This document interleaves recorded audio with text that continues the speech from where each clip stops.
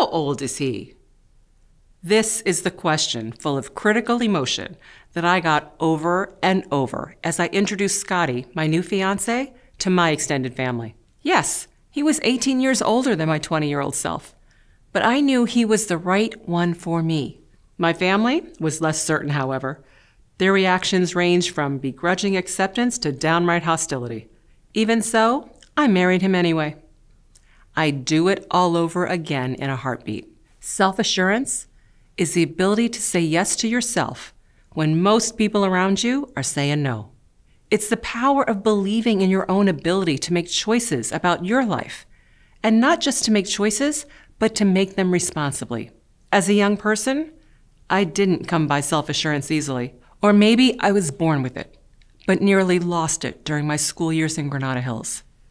Indeed, minorities, immigrants, people with disabilities, LGBTQ youth, anyone who grows up different will inevitably face more challenges as they work towards self assurance. It took me over a decade, from age 8 to 18 or so, to develop my sense of self. During that time, I was lucky to be surrounded by a loving family and to encounter some attentive teachers. And whether due to nature or nurture, or a combination of both, I continually pushed myself to live up to my potential, and I stepped up for challenging opportunities that would coax me out of my comfort zone. As I now understand it, we become self determined people when we are fulfilled in three psychological areas competence, autonomy, and relatedness. In a nutshell, competence is the ability to handle yourself. Autonomy is the sense that you can make your own choices and look out for your interests. And relatedness means feeling like you fit in.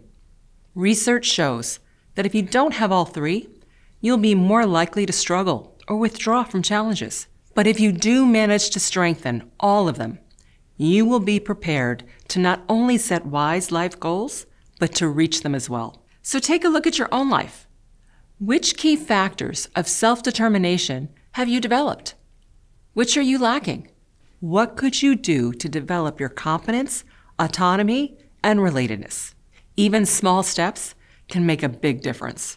For example, you could grow your competence by learning a new skill at work or taking on an extra project on the side. When I was younger, I cultivated a sense of autonomy by learning how to sew instead of waiting for my mom to make my clothes. And you can work on your sense of relatedness by connecting more intentionally with colleagues, neighbors, and more. Taking these steps now will strengthen your ability to stand firm in your decisions, even when others aren't so sure.